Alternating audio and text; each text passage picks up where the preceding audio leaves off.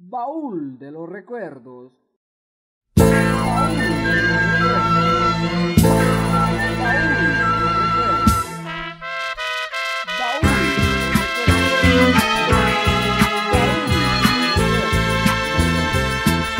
Acuérdate de mí en tus horas sombrías, en tus horas de dicha.